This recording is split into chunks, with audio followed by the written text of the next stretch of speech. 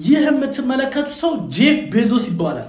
የአማዞን ባለቤት ሲሆን የ193 ቢሊዮን ዶላር ባለሀብት ነው። አስባችሁታል? አሁን ላይ በዓለማችን ላይ 8 ቢሊዮን ህዝብ አለ። ለእያንዳንዱ ሰው አንዳንድ ቢሊዮን ዶላር ቢሰጥ ይህ ሰው 185 ቢሊዮን ዶላር ይተርፈዋል። damn እኔ በስመ damn የሚለው ይቅርብ፣ ግድ የለም የኛ አሜሪካዊ ቁጥር challenge አባቴ ከኔም የባሰ ሂሳብ አለ እንዴ? ስንት ስንት ይደርሰዋል? እኔ አራቱም ስሌት አውቃለሁ ብዬ እኮ በጣም ከሰው አድሼ አንገቴ እንደፍቼ ነበር። ተመስገን የኔ እውቀት ተንጠፍጥፏል። በእናትህ ማካፈል በቃ እየለመዳችሁ እኮ ነው። በቃ ሩባ ግማሽ እያላችሁ በሚዛን እየለመዳችሁ ዳም እባክህ እንዴት ስልጣኔው ጋር ደርሳል? ቁጥር ሳታውቅ ማፈሪያ የሚል ይላል። ልናሽን ያጣሽው መቼ ነው ይላል። ያው እውነት ነው ነገር ነው። ያው ባናቅም ባናቅም በቦታው ባለሆነ የለንም ግን አላጣሁትም። እሺ እኔ ልደንግጥ። እኔ ምን አስደነገጠ አባቴ? እንዴ መሆን ትችላለች እኮ በቃ ጀነራሊ ሴት ልጅ ድንግል ነኝ ካለች በቃ ኖር ነዋል ልትሆን ትችላለች። ምን ይገርማል? ያንተ መደንገጥ አይገርምም? ክው ጠላት ክው ይበል። ይሄስ ሁሉንም ሰው አንድ አይነት አድርጎ መገመት መንፈስ ምን አለ እንደው ወጋውት ምን ይላል እንደው መንሱር ምንም የበቶ ልጅ እኮ ነው። የዚህ የበቶ ልጅ ሰፈር ውስጥ ቦቲ ጫማ አድርጎ አድርጎ አዲስ አበባ ገብቶ እንደዚህ ነው እንደዚህ ነው። ሰው ለምን ስለሱ እንደሚያወራ ስለ እሱማ ቢወራለት አሁን ከአንተ ካልከው ስታተስ መጥቶ ተለወጠ፣ አስገረመ ህዝብን። አንተ አሁንም የበቸው ልጅ ነህ። አሁንም በቦቲ መሄድ ነው ልዩነቱ። እሱም በቾነቱን አይክድም። አንተ ግን አሁንም በቦቲ ነው የምትሄደው። አሁንም ታካለህ። እንደዚህ አይነት ምቀኝነት ከውስጣችን ካልወጣ አበሻ መቼም አያድግም። አንተ ምን ምቀኛ ነህ? በእናትህ የተፈጥሮ ምቀኛ ምን ይላል? አንቺ ጠቋራ አለ ኮሜንቱ። እኔ አንዳንዴ ኢትዮጵያውያኖች ደርሳችሁ የጣሊያን ደቅለን የምትሉት ነገር እና የኔ ጥቁረት የሚያስገርማችሁ ነገር ይገርመኛል።? አሽሙር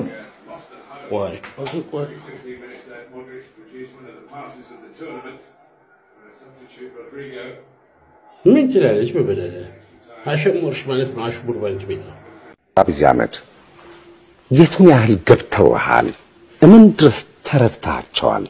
ምናልባት ብዙዎቻችን ያላየነውን የጋረደንን አንተ የተመለከትከው ነገር አለ?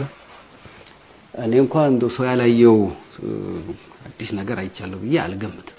አንድ ለኢትዮጵያ ያላቸው ጥልቅ ፍቅር ይህ ከመጀመሪያው ቀን ጀምሮ እስካሁን ድረስ ባለማቋረጥ ሁሌ የማየው የተረዳሁት ነገር ነው። አንዳንዴ ቁጭ ብለን ስነጋገር ኢትዮጵያ የሚለውን ቃል ሲያወጡ እንባቸው ሲመጣ አየዋለሁ። የምርህ ነው?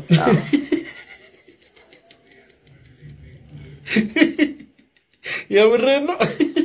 እኔ ፖለቲካ አልወድም። ኦ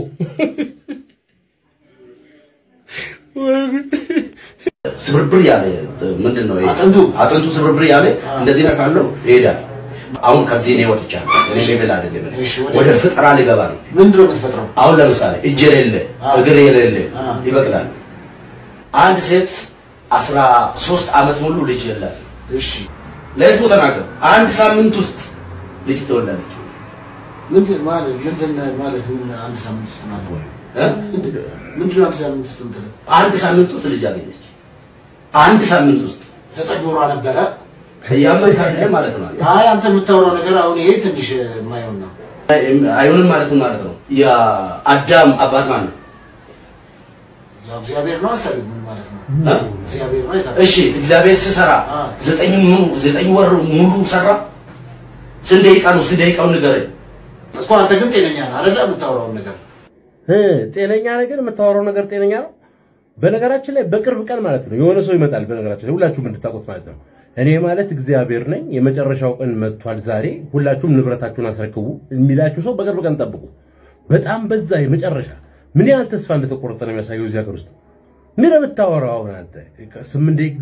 ጊዜ ስንት ደቂቃ ፈጀበት ምናምን ከጊዜ እኩል ነኝ ነው እናንተ እናንተ ወንጀል ነው። በነገራችን ላይ ወንጀል በኢትዮጵያ ወንጀለኛ መቅጫ መሰረት ወንጀል ነው። መናፍስት እጠራላለሁ፣ ያልተፈጠረ ነገር እፈጥርላለሁ ምናምን እላለሁ እያሉ ሰውን የተለያየ ነገር ውስጥ ማስ- ማስገባት ወንጀል ነው ይላል መንግስት። የለም እንደዚህ ሀገር እነዚህ ሰዎች መታሰር አለባቸው እኮ ምን ሌላ ምንም ክርክር አያስፈልጉም። ታምራት ገለታ ምን አጠፋ ታዲያ? ምንም እኮ አላጠፋም። ታምራት ገለታ ይሄ ከታምራት ገለታ ሳንሻል ያው ይሄን ጠንቋይ ምን ይመስላል በመድኃኒዓለም እጅ ጭራሽ ብቀል ስለው ይበቅላል። በሰው ሁለት ወር ልጅ አስ- ስማ፣ ይህን ቪዲዮ ዩት በነገራችን ላይ ማአት ነገር አለው። ጅብ ጸልዬላቸው 15 ጅቦች አንዱ አቋርጦ ረግጦ ወጥቶ እንደ ፓርላማ መጨረሻ ላይ እናተ በለስ ስለው እጁ እንደዚህ ዘረጋ ሁሉ ብሏል። ሁለት መቶ ሺህ ዶላር ሰጣለሁ ብሎ መድረክ ላይ የሸመጠኝ ሰው ስላለ በህይወቱ አይባረክም ወንትድ ነው ብሏል። ለገንዘብ ነው አሁን የሁሉ ነገር። ስንት ዓመት ልትኖር ነው በመድኃኒዓለም ለዚች 50 እና 60 ለማትሞላ እድሜ ሰው ምን ያህል ርቀት እንደሚሄድ? ሁሉም ሰው ነብይ ሆነ። እዚህ ሀገር ተስፋ ተቆረጠ። በቃ ናይጄሪያ ሆነች የጠንቋይና የመናፍስት ሀገር ሆናል። ሀገር ምን ነው በቃችሁ ብትሏቸው እነዚህን ሰዎች ግን ምን አለ መንግስት ቢያስርልን ግን የ- የመጨረሻ በዝቷል እኮ የዚህ ደግሞ አብሰ ምን ይላል በማርያም ብራና የፊልም production ኮርፖሬሽን ነው ስለመማርበት ነው። ብራና ግን ምን ይመስልሻል ትርጉሙ ቃሉ?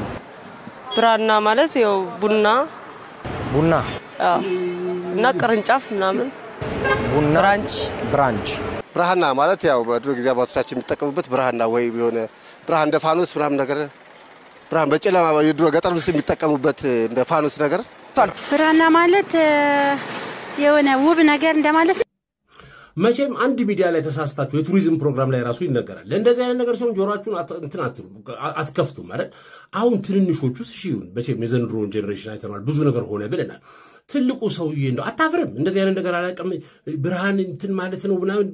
basically የሀገርህን ነገር እኮ ማወቅ አለብህ ሁሌም ብትሆን የሀገሩን ነገር ያላወቀ ሰው ስለ ውጭ ሀገር culture ና ስለ ውጭ ሀገር ነገሮች ሲተረተር ቢሆን ምንም እችንም ታክል አክብሮት የለኝም። ሲጀምር ራስን ማወቅ እኮ የመጨረሻ የስልጣኔ ጥጉ እኮ ነው። አሁን እናንተ ቲቪ ላይ ቀርባችሁ ይሄ ቲቪ ላይ ሲተላለፍ ቤት ውስጥ ተቀምጣችሁ ከሰው ጋር ስታዩት ይሳቀናል አንድ ላይ ወይኔ የኛውን ትናንሽ ምናምን እንደ ማህበረሰብ የመጨረሻ ሽቆ አሽቆልቁለናል። ራሱን የሳተ ማህበረሰብ እንደ ሰከረ ሰው ቁጠሩት። የሰከረ ሰው ቤቱን አያውቅ ምኑን አያውቅ። ልክ እንደዛ ማለት ነው። ራሱን የሳተ ማህበረሰብ አሁን ያለ ነው። እንደ ሀገር የሰከርን እየሆንን ነው። ቃለን ይህን ቲቪ ሾው ላይ ቀርበ መቼ ዕለት አቀረበ አንዱ የካቲት 23 ምንድን ጎርጊስ ኤሬቤስ ስማ ነው እኔ ያወራሁት ስለ በሀገራችን የሚከበር ትልቅ የአርበኞች በዓል ጫፍ እኮ ተሰጠ እኮ እንጃ ይከበራል። ግንቦታ ይሆናል የካቲት 23 ግንቦታ እንዲህ አይነት ነገር ላይ ደርሰናል። እንደው ይሄ በስመ አሁን እናንተ አሁን እንዴት ነው ምን ይላሉ? እንደው